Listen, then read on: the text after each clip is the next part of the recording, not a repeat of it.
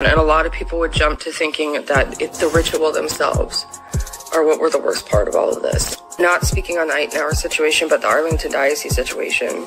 Specifically speaking of Arlington and the four years before I broke free of their grip. It's horrible and traumatizing to go through those rituals, but the hardest part was never the rituals for me. The hardest part was in between them, the space in between them. That was the real battle. That was the real hell. That was the real eighth circle of hell, was in between the rituals. And as a Catholic, there are certain things that I could understand, or, you know, because I was a Catholic, you know, being okay or appropriate, or, you know, maybe the good outweighed the bad. There was just so much that's just sickening that they didn't didn't do. So I really want you guys to understand. So the first thing that I'm going to say is this that at the time that I was filing the official reports, not with the police, of course, with the diocesan department, whichever one's the victim's abuse coordinator, clerical abuse, whatever's going on, that department that you go and report to in the diocese instead of going to the police. Because again, this is all a Catholic bubble. That's part of the religion. They have their own court system. They set up these things, and I believe they set up these departments not so much to help victims. Like I said, I believe they're in the business of covering up their crimes continuously. I think the Catholic Church is so busy continuously with damage control that they cause damage they cause, evil they do. Just continuous damage control. They will ignore you. They will they will leave you to die if it's not going to be something that's going to publicly cause a scandal and they can shut it down. They will do the absolute minimum possible for a person and it's never for their own good. If there's a priest involved, it's always going to be for the priest. Any type of Catholic authority, it's always going to be about them. It's always going to be about the religion. Um, and I think they set up these places to put a block up between people going to the actual police and to deter them from doing that, to deter them from filing actual police reports. Because if they can keep it within their diocese, then they have control of that. You know, and, and I believe that the exorcism process that I was signed into, even though I don't know about every individual that was placed on the team or that showed up there being malintentioned or not, I believe there was at least one person that was not. I'm not saying there aren't more. There's really only one priest that was involved that I believe wasn't, I'm like nearly positive, was not ill intentioned you know, that he actually had good intentions and realized what they were doing was damaging and wasn't right.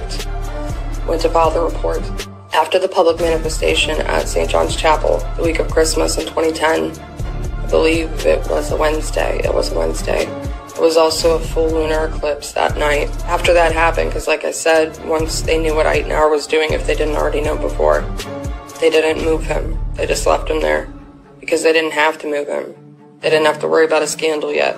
They weren't going to have to face anything yet, so they let it be. They just let it be.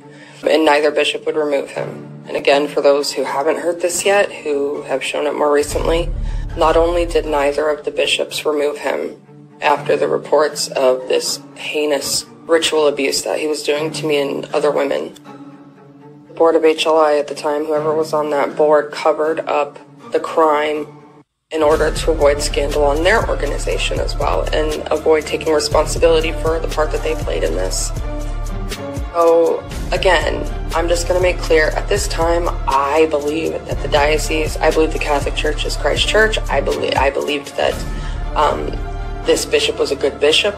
I just assumed that. I always give people the benefit of the doubt, especially Catholic authorities probably more than anybody else. I thought that they actually wanted to help me. I thought that this was something that they were, that there was any good intention in this at all.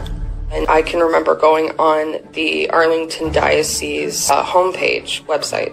It's not there anymore. I can't find it. I don't know if that's just because he's not the bishop anymore or what. But in the section of um, people who are victimized by priests, you know, or sexually abused by Catholic authorities, he recorded a video. There was a video on there and read everything and I also watched the video. And in this video, he makes very clear and promises make this commitment. Anyone in his diocese, this is what Paul S. Loverde said, the bishop at the time.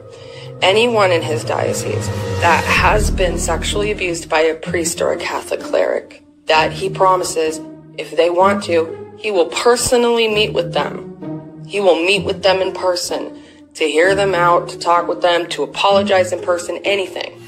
That he will meet with that person.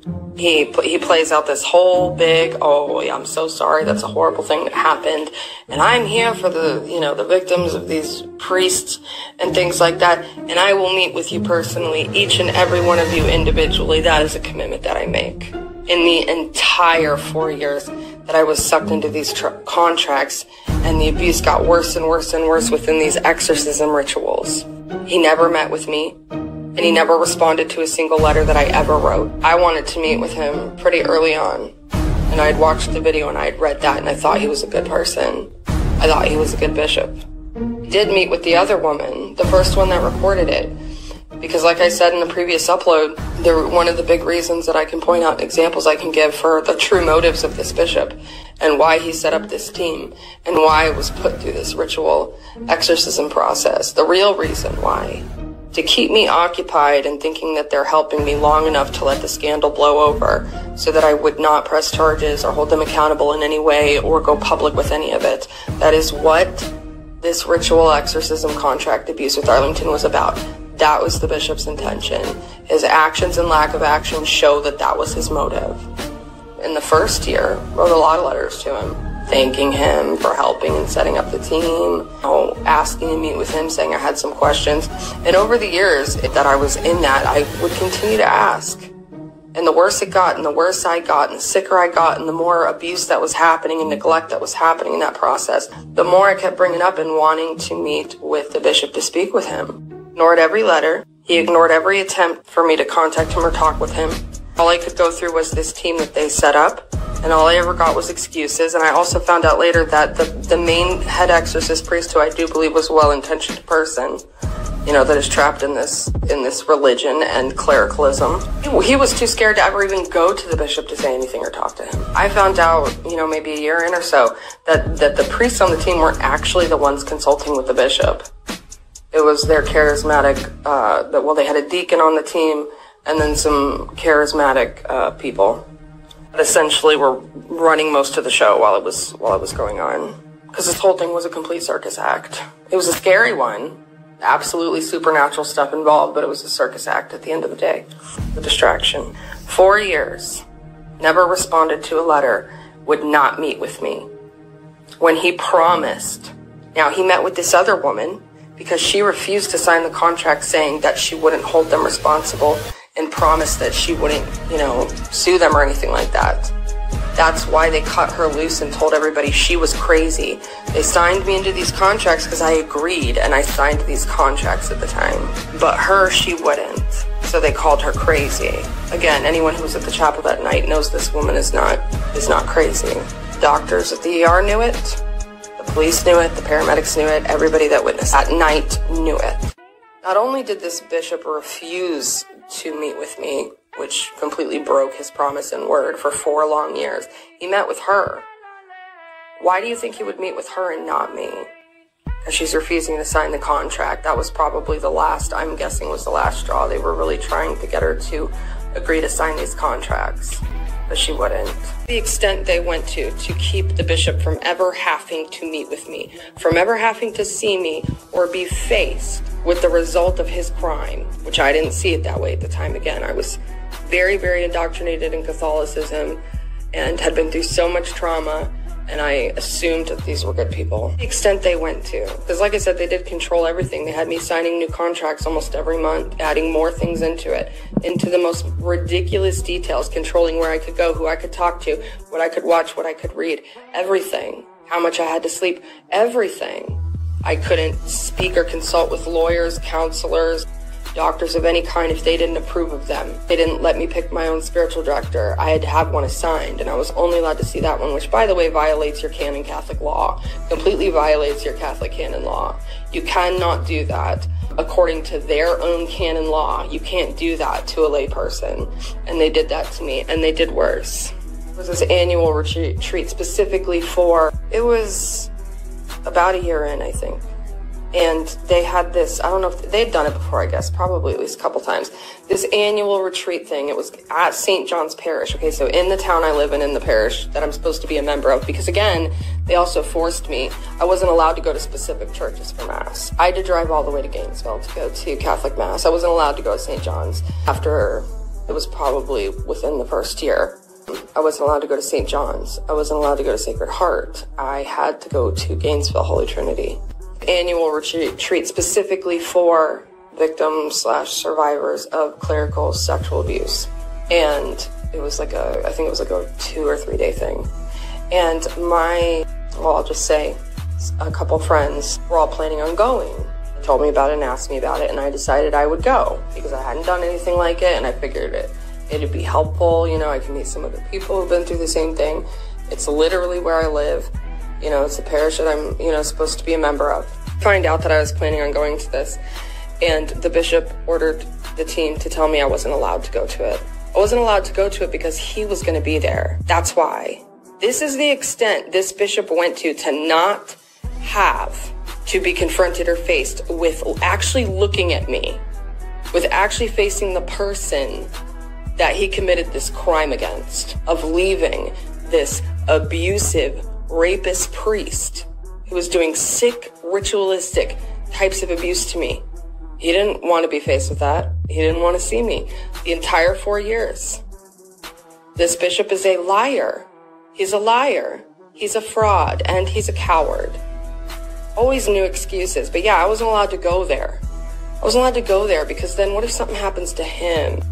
What if what if there's a demonic manifestation? What if something happens to him? It's supposed to be the, the individual in higher authority in that religion that should be the first one stepping up to evil, should be the first one not letting cowardice overrun them if that's what it was.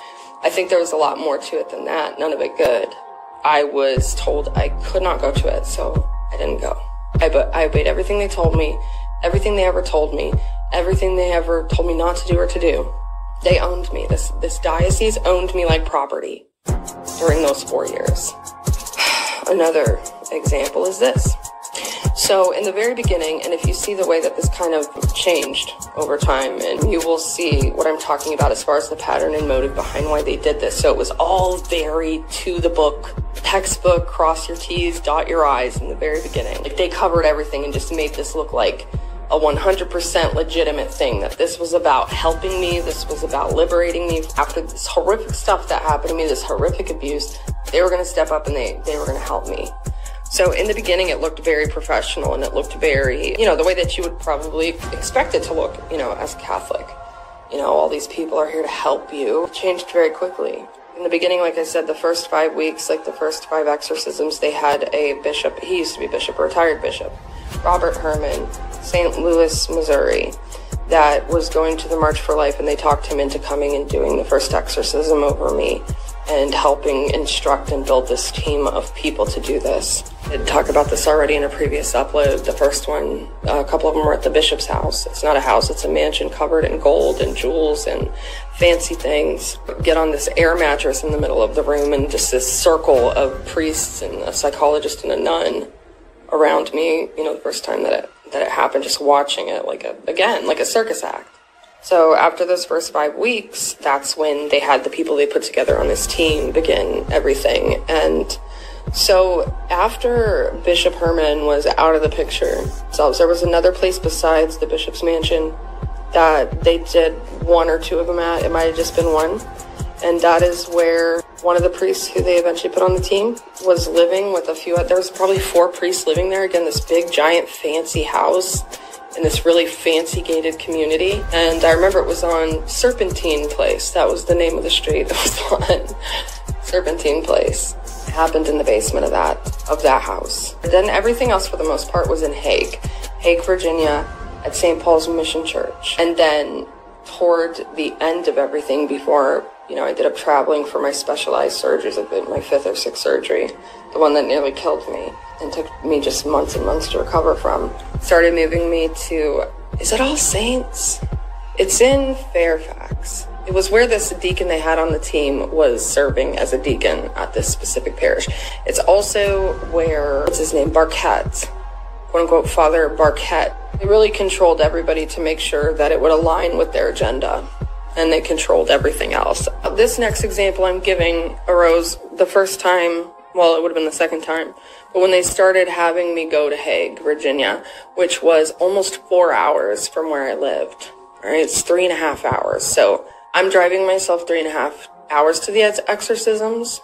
And after the first one there, I'm driving myself home, with the exception of a handful. I can count on one hand the amount of times that somebody else drove me.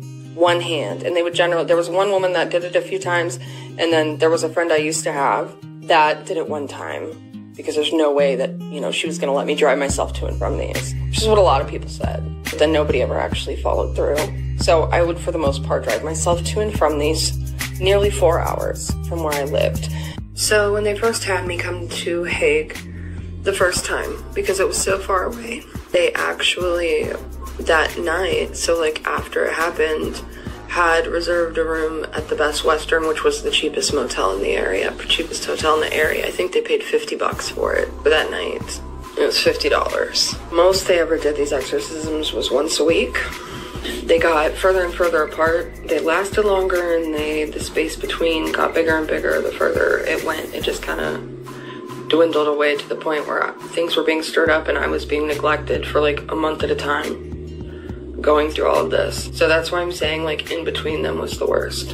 And I'll give specific reasons for why that is too. Another thing that happened is they were much shorter in the beginning, the rituals, and then they got long. the longest one, longest one I remember was 13 or 14 hours. Ritual exorcism, whether you think it's abuse or not, whether you think it's something that God created to be used or not, which I do not. So they knew I didn't have money to be putting myself in a hotel. They knew I didn't have $50 to be spending on a hotel. I didn't even, I didn't have that. I know I've also mentioned this in other uploads, and I'm going to do an upload specifically breaking this down in the details regarding the hush money that I was coerced and lied to about, return for Euteneuer being locked up and them, him never being able to hurt anybody else. That was a contingency, and they lied. Totally free. Totally free. They lied to me, and I was being pushed by the Catholic attorney from that parish and other Catholics that I had to do this. I had to receive this settlement money because otherwise they don't have to pay and they'll just continue doing this. And I did not want to do it, and I put it off for the longest time, and I refused until somebody suggested, well, the contingency, we can make sure he's locked up. He doesn't hurt anybody anymore. They'll keep him in one of their facilities, one of their special Catholic facilities for priests. Basically, in the first nine months, that was gone. Because I was, not only did I have people showing up like vultures at my door nonstop, most of them family, and just continuously writing checks to people, I got rid of that money so fast. It wasn't like this intentional thing in the front of my mind, like I'm just getting rid of this, but I never wanted it in the first place, and it bothered me, and I hated the fact that it felt like they could make up for what they've done by paying me money. And then when I realized how little it was compared to what it should have been, and how much it didn't even affect them at all. That it's nothing to them. The amount of money it was nothing to them. The fact that they used it to lie lie to me to cover this up, and then he was free, and God knows what he's doing right now. We'll get into more of that later. Bottom line is, throughout those four years, it was only a matter of months that I had any money at all. And between paying the bills and the house I was in and a bunch of the other medical stuff that I was being having to put myself through and all the tests and everything else and, you know, the driving and the gas and everything. Bottom line is, the first time they had me drive out for convenience of the priests, you know, because we don't want to inconvenience these priests. We don't want them to have to drive five minutes home at 3 a.m., but they want me to drive almost four hours home at 3 a.m. after being put through a 12 hour ritual exorcism. What it feels like after one of these, I mean, you could get pummeled by Mike Tyson, and it's no comparison to what you feel like after going through one of these especially the really long ones. It's not even something I'm going to try to explain. It's pointless to try to because I'm not going to be able to convey it. And the first time they, they had a motel, so with the money that I did have from the hush money that they lied to me about, the contingency on that, I was paying for hotels myself because you know, I would be an absolute wreck after these. Physically, I shouldn't have been driving. Would have been safer for me to drive after drinking a liter of vodka than it was for me driving home after these ritual exorcisms. To this day, I can't reconcile it in my mind with any of them on that team that they built. I, I can't reconcile with it in my mind how you can allow that to happen to somebody. How you can allow them to drive themselves home after that. Entire time, these people had people even involved on the team that had somewhere I could stay a bed I could sleep in that night after. And there was like one occasion when that happened, way later in. And it was one time when another person was with me. What I was told by the, because again, it all came through this team they built. The man wouldn't face me, wouldn't talk to me. I wasn't allowed to be anywhere where he was at. He completely ignored me and avoided me this entire four years. Like I said, didn't even take time to respond to a single letter that I wrote. That had the same two questions at the end of the day. After the first year, we just narrowed it down to two questions. I wanted to ask him because I wanted to understand why he left Euteneuer there. I wanted to hear from him I was actually thinking there was some kind of good explanation that maybe there's this good reason why he did that. Because again, I'm super hyper Catholic back then. But he didn't even answer a single letter because he knew he wasn't doing it for the right reason. And he knew that he was responsible for what happened to me. And he's a coward. That's what it comes down to at the end of the day. Coward and too much of a heartless individual to even respond to a letter or see me at this retreat that I was going to go to that then I wasn't allowed to go to because they didn't care about my well-being. They didn't care about my well-being. These people, this bishop went out of the way to make sure I didn't go to this retreat for survivors of sexual abuse of clerics. They isolated me from everybody and everything but them and people they appointed and approved of. So I remember before the second exorcism that was going to happen in Hague, I was informed that they had talked to him about it, supposedly. I asked, why would you do it the first time? I asked, because everything went through this team. Well, why did you guys do it the first time and now you can't? I have to drive myself three and a half hours to and from. And the exact answer I got was this. That Loverde said, well, if we do it for her, we'll have to do it for everybody. If we do it for her, we'll have to do it for everybody. So yeah, I drove myself to and from these things the entire four years for the most part. Like I said, with the exception of a handful of times. I can remember um, specifically after one really long one in Hague. It was around three in the morning. I was driving and I was trying to keep my eyes open. And I was in so much pain. My wrists and arms were swollen, of course you know, my wrists would become swollen and bruised and like the swelling wouldn't go down for a whole week after one of these usually. You know, I can't eat most of the time when I'm going through these or after, dehydrated. But then you add in all the other elements of the the demonic crap that goes on in the way that I would just be so destroyed in between these. I remember driving down and these are dark roads. These are middle of nowhere road. This place is middle of nowhere. Like nobody will hear you scream middle of nowhere. I would see, um, probably between the sleep deprivation and the demonic stuff, I would see these creatures, these, these black demonic creatures jumping in the middle of the road. And I'd randomly see people jump in the middle of the road. And, you know, I knew that they weren't real.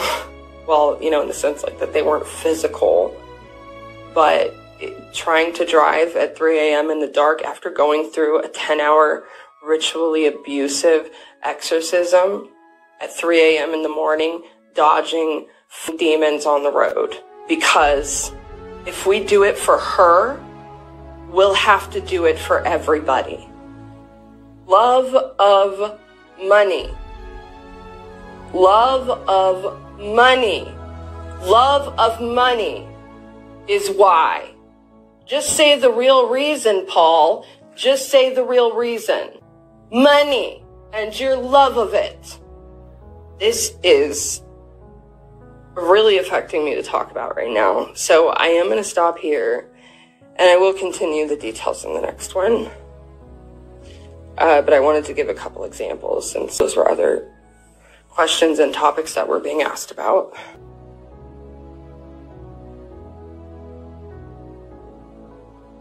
How you gonna skip over the details and tell me to be focused? That thought. Don't tell me you mean well if you don't mean well. Known to be cordial, but those that think that never seen me in a war zone. My delivery gets better every time I spit. I don't keep my sword low. Tell me why would I do that? Does it make sense when you're in a game this cutthroat? If you wanna maintain control, then you gotta keep up. If you can't handle the me once, shame on you. Fool me twice, shame on you. Oh, Fool me three times, hold up, rewind, that's not even possible. Me, I keep it.